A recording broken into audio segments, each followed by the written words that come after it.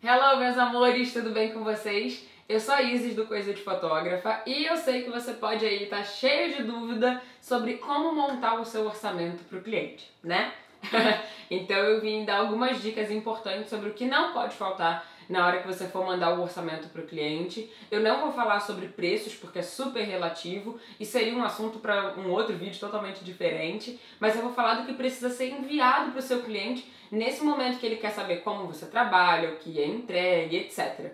E que muitas vezes a gente deixa umas coisinhas passarem sem deixar tão claro assim para o cliente. Isso não é nada bom para ele e nada bom para a gente como profissional. Então vamos lá. Primeiro de tudo, é que eu super recomendo que você envie seu orçamento em um arquivo PDF, tá bom?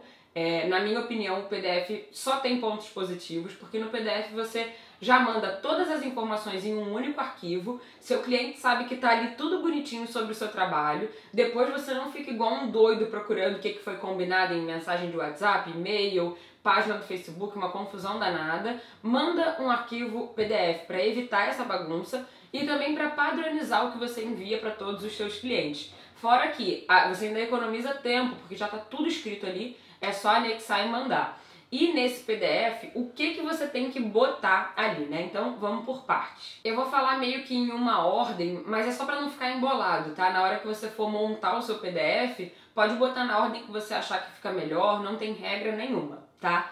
Primeiro, eu gosto sempre de dar um oi para a pessoa que me pediu o orçamento, contando rapidamente quem eu sou, por que eu faço o que eu faço. É um texto bem breve mesmo, é, não precisa ser textão.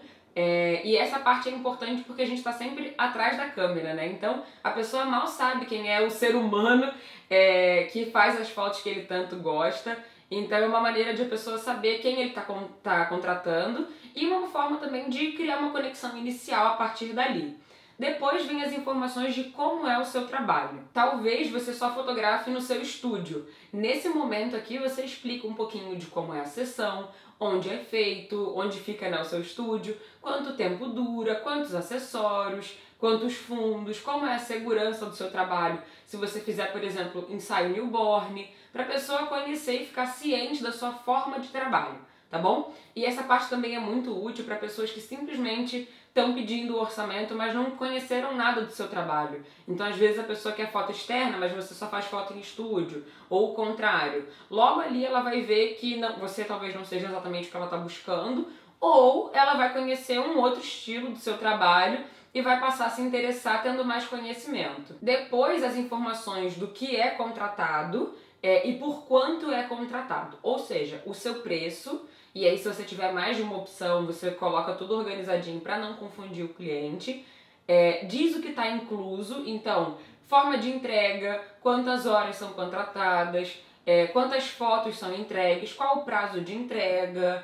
É, e aí, supondo que seja, sei lá, uma festa infantil, você tem que informar que, pelo valor tal, a pessoa tem X horas de cobertura, tantas fotos editadas, entregues em pendrive, DVD, enfim quais são, é, quantos dias ele, em até quantos dias ele recebe as fotos, né, o prazo. Tem que estar tá tudo nessa parte aqui, tá? E também confere tudo certinho que você precisa dizer para o seu cliente, da sua forma de trabalho, o que é entregue, para não dar problema depois do cliente querer foto no dia seguinte, seu prazo é de 20 dias úteis, ou dele achar que ia receber álbum e você informou que entrega em pendrive. É, no PDF organizado, você sabe ali tudo bonitinho que foi dito para o cliente. Depois dessas informações principais, você pode colocar os pacotes e informações de extras, tá? Você pode colocar as informações e preços dos seus álbuns, é, pode colocar seus pacotes de festa mais ensaio, festa, ensaio e álbum, é, álbum com tal tamanho, tantas páginas. Você pode colocar o valor de hora extra do seu trabalho.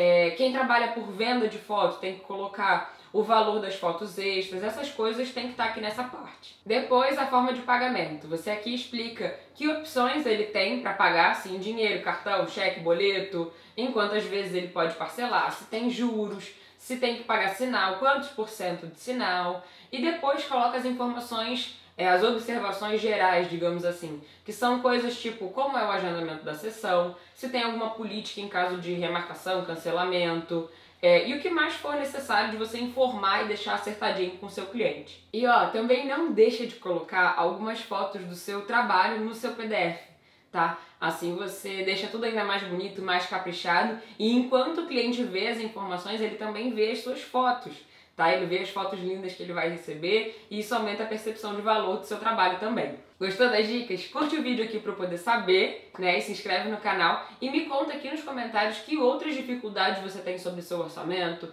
sobre prazo, sobre PDF, preço, álbum, enfim, o que você tiver tendo dificuldade pra gente conversar sobre isso, talvez gerar até um próximo vídeo, tá bom? Então, beijo pra você, tchau, tchau!